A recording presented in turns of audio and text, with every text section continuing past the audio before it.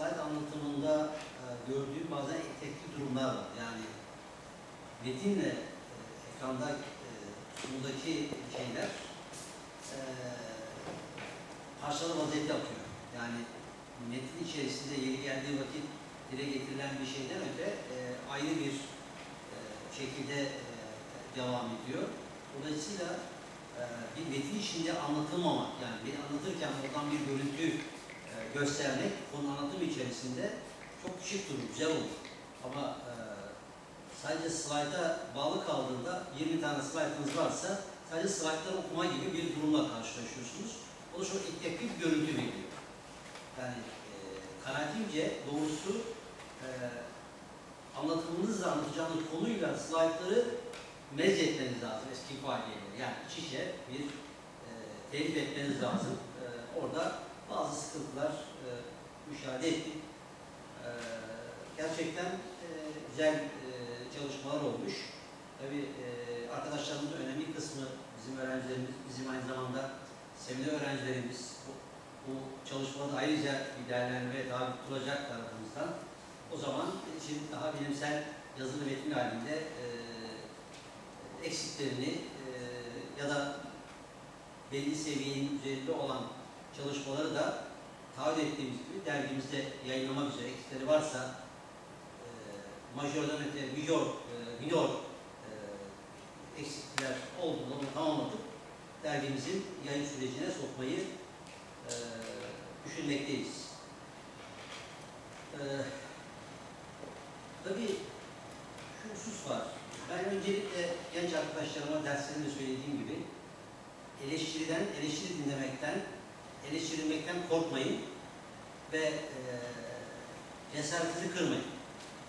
Yolunuz olsun. Burada sabahki oturumda Cezmi Bey e, haklı e, eleştirilerde bulundu. E, örnekleyerek de anlattı. E, bunların daha ağırlarını bu akademi toplantı sempozumlarda biz eskiden dinledik, şahit olduk. Ee, Dolayısıyla daha işin başındasınız, daha nelerle karşılaşırsınız. Mühim olan bu ortamlarda size söylenenlerden e, ders çıkartmak, onların mümkün asgariye indirmek, tamamen soner mesele, asgariye indirmeye çalışmak bu çabayı e, göstermek e, gerekir. Ancak bir iki söylemek lazım, bunu ben de e, gördüğüm için. Evet, Nutuk 1927 yılında belli şartlarda yani Türkiye'nin inkılap sürecinde isyanlar bir taraftan, suikast bir taraftan efendim, muhalif gelişmeler olduğu bir e, ortamda e, bilimci başladığı arkadaşlarıyla ayrı düştüğü bir süreçte e, irade edilmiş, sonra yazıya dökülmüş bir metin. Dolayısıyla e, Nutuk 19-26 dönemi yıllar arasındaki Türkiye'de gelişmeleri Atatürk e, penceresinden bir değerlendirmesinden ibarettir. Belgeleri de içermekle beraber. Dolayısıyla 1920'lerde söylediği bazı görüşlerin bu durumdan dolayı 26-20'lere geldiğinde farklılık arz etmektedir. Fakat bundan daha ötesi, önemlisi Atatürk tutup da mesela Erzurum Kongresi örneğini vereyim kısaca. Erzurum Kongresi'ni Atatürk kendi e, açısından yorumlayarak vermiş. Aslında tutup da Erzurum Kongresi beyan, bir Erzurum Kongresi maddeleri diye verdiği şey, özel birinci maddesi, orijinal beyannamede yer alan madde değildir. Yani e, vatan bir bir parçalanamaz. Biz onu Erzurum'da, Sivas'ta, Misakim'de hep aynısını söyledik. Şimdi sorsak, Misakim'in birinci maddesini, sınırlar maddesi söyledi dediğimizde, ben üniversite sınavında e, lisansüstü seviyede görüyorum hemen yazanlar vardı daha biz bunu anlatmadan misafirlik konusunu vatan bir bir parçalanmaz diye yazıyor. Yani bizim iletişim sistemimizde olan yaklaşım.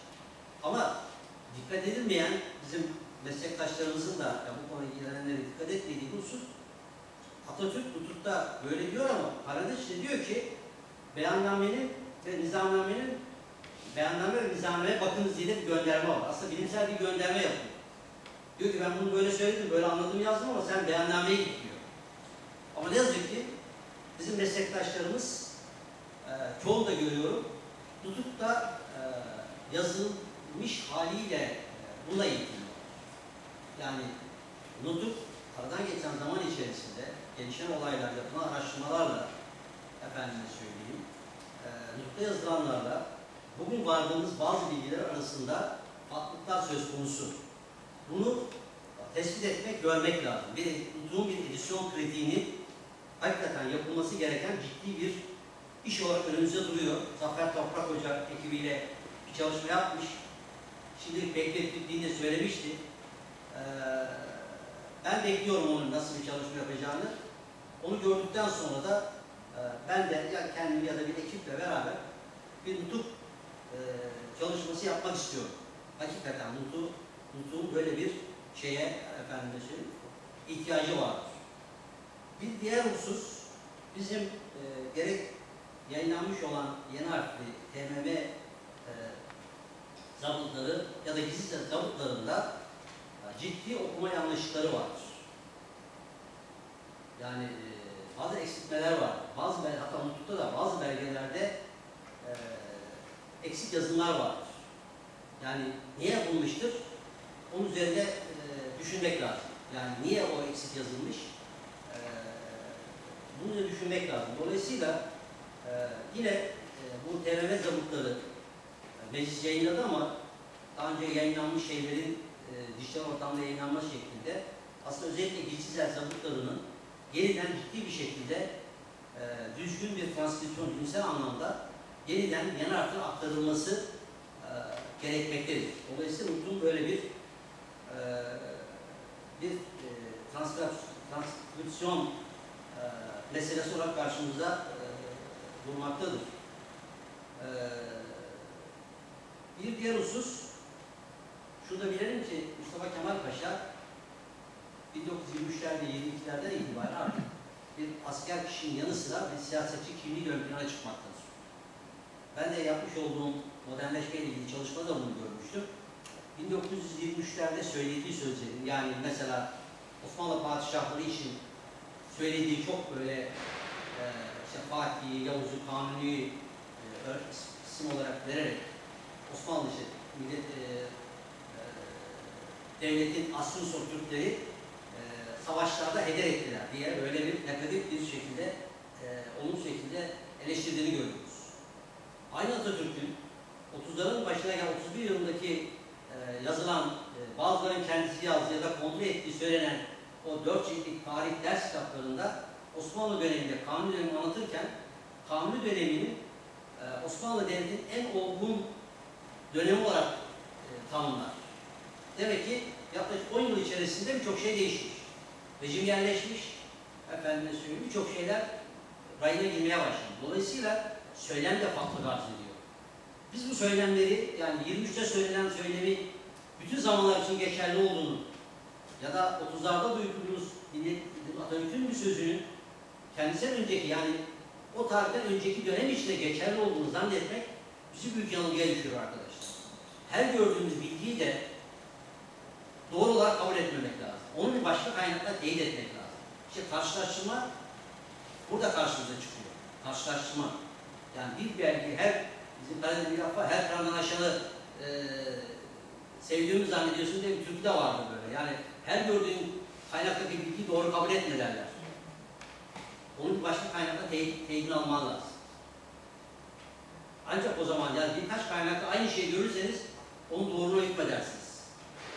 Genel kabul olarak. Dolayısıyla gördüğümüz tek bilgiyi doğru gibi yapmamak lazım. Ya iddia edilmektedir gibi daha yumuşak ifadeler kullanmak lazım. Bunu özellikle e, söylemek e, gerekiyor. Ben de söyleyeyim. E, bir de şeyi çok iyi bilmek lazım arkadaşlar. Dönemde Mustafa Kemal Paşa'nın, Atatürk'ün reformlarının, inkılaplarının gayesini çok net olarak bilmek lazım. Yani değerlendirirken o görüş farklılıklarını dikkate alarak almanın yanı sıra o asıl 20 sonrasındaki o ana düşünceyi iyi bilmek lazım. Bu gözden kaçırılırsa birçok konjonktürel değerlendirme yaparız. Dönem itibariyle. Buna dikkat etmek lazım. Yani evet konjonktür olarak bazen değerlendiriyor ama Atatürk'ün 20 sonrasındaki e, yaklaşımı yani e, Kurtuluş'un da söylediği gibi bildirisinde e, inkılapların gayesi Türkiye halkına asri medeni e, bir heyet içtimai haline ishal etmektir şeklindeki e, şeyi temel amacını, hedefini gözden ırak tutmamak lazım. hep onun çevresinde şekillenmiştir. Yani devletin yapılanması, millete iyi şekil verilmesi, din konusunda yaklaşım, Diyanet İşleri Teşkilatı'nın yapılanması hep bu hedefe e, endekslidir. Bunu unutmamak lazım. E, çok fazla uzatmayacağım. E, bir de terminoloji hususunda son anda bir hocam da bir şey söyledi. Yanlış anlamadıysam. O zamanlarda bu Yunan, Yunanlı terminolojisi ve e, Yunan anlamında şeyle biliyor, kendisiyle konuşmuştuk. Bizim e, mesela Yunanlar diye tabir var. Yunanlar diye kullanılıyor. Son zaman öyle yazmaya başladı. Yunanlar diye. E, ama bizim Osmanlı belgelerine bakıldığında ve bugüne kadar, yakın zamana kadar, yani diyelim 2000'lere kadar bir zaman diliminde hep bu Yunanlar diye biliyor. Yani Yunan ordusu Ulan Yunan ordusu kullanılıyordu. Ama bir topluluktan söz ettiğimiz vakit e, biz de Osmanlı belgelerinde de biliyoruz Yunanlılar diye geçiyor. Yunanlar diye geçmiyor. Yunanlılar diye geçiyor. Yani ikinci ayrım Rum Helen e, ayrımında da karşımıza geçiyor. Yani bazı çalışmalarda bunu gördük. Yani Yunanistan'ın kullandığı Anadolu Rumları içinde Helen ifadesini kullanıyor. Yani onun Anadolu Rumlarına Helen demesinde bir amacı var. Bunu göz ardı etmemek lazım. Ecdadın kullandığı gibi e, en azından Yunanistan'ın bağımsızlığını elde ettiği ana bakarak hiç olmazsa o ana kadar bir şeyi Anadolu'da olan Ortodoks Hristiyanların Rumlar diye değerlendirmek lazım. Rum diye değerlendirmek lazım. Buradaki o Helen tabirinin iki taraf içinde kullanılmasının siyasi bir amacın olduğunu e, göz ardı etmemek lazım. Yani e, ben özellikle kendi çalışmalarımda e, mesela Kafkasya çalışan bir kişi olarak Transkafkasya kavramını kullanmam. Rusların da Kafkasya dediği şey. Ne demek? Kafkas ötesi. Şimdi ben buradan baktığımda benim için Kafkas ötesi Kuzey Kafkasya'dır. Rus oradan baktığı için bile Kafkasya'ya Kafkas ötesi adı veriyor. Doğrusu nedir? Bu şeylere girmeden bile Kafkasya tabirini kullanmaktır. Yani Dolayısıyla e, jeopolitiğin tanımlarından bir tanesi de coğrafyanın siyaseten tanımlanmasıdır. Dolayısıyla bu kavramları verenler bir takım jeopolitik hedeflere, e, ideallere sahiptir. İşte Yunanların megal idealisi gibi. Niye bu tabirler İstanbul için kullandığı Konstantinopolis dediği, Rus dediği şey, niye ısrar ediyor bunda? Çünkü o isim aklında tutmaya çalışıyor. Dolayısıyla o hassas bize taşımamız lazım. Bu bizim bilimselliğimizi ortadan kaldırmaz. Ama biz bir ülke, bir Türk e, vatandaşı, bir Türk oluşumuzu da göze arak tutmamız gerekir diye düşünüyorum. Uzatmayacağım son olarak bu o, sempozyumumuz, 3. öğrenci sempozyumumuz enstitümüzle Katolik İnkılap Enstitüsü ile Edebiyat Fakültesi Tarih Bölümü Türkiye Cumhuriyeti Tarihi Ana Bilim Dalı'nın ortaklaşa gerçekleşmiş bir sempozyumdur. Bu sempozyuma e, öğretim üyesi e, arkadaşlarımız, tarih bölümü başkanı ve yine değerli dostumuz e, e, Türkiye Cumhuriyeti Tarih Ana Bilim Dalı Başkanı e, ve diğer öğretim üyesi Murat Bey burada şimdi gözümün önünde gelenleri söylüyorum. Hepsine çok çok teşekkür ediyorum. E, Enstitümün e, mensuplarına e, Serkan Hocam burada, Lütfen Hocam burada, Musa Hanım e, burada, Yakup Hoca, Güçlü burada. Onlara da ayrı ayrı teşekkür ediyorum. Tabii bizim dışımızda bu işin yükünü çeken e, genç arkadaşlarımızı da e, unutmadım. E, araştırma görevlilerimiz Umut Dere, Duygu Saygın, Anıl Dincel, Bana Bilim Dalı, ben çok fazla karşılık isimde aklıma kalmadı. Fatih Bey'e sordum. Özlem Hanım, Özlem Arslan e, arkadaşımıza da çok çok teşekkür ediyorum. Bizim idari personelimize lojistik destek veren arkadaşlarımıza, enstitü sekreterine de e, teşekkür ediyorum. E, ve e, sabahtan bugüne kadar, bu saate kadar e, çok beni heyecanlandıran ve efendime söyleyeyim, verdiğim emeklerin e, zayi olmadığını gösteren sunumlar dinledik. E, katılımcı tepki sunan genç arkadaşlarımıza da e, hem tebrik ediyorum, teşekkür ediyorum. İnşallah e, Allah sağlık verirse, yaşarsak kalırsak dördüncüsünü de e, gerçekleşmek üzere seneye bu saatlerde, bu günlerde buluşmak üzere. Hepinize e, hayırlı akşamlar, hayırlı günler diliyorum. Çok teşekkür ederim. Sağ olun.